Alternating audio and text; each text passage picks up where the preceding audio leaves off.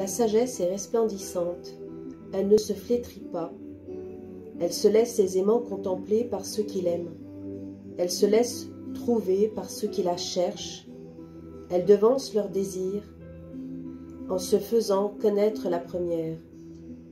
Celui qui la cherche dès l'aurore ne se fatiguera pas, il la trouvera assise à sa porte.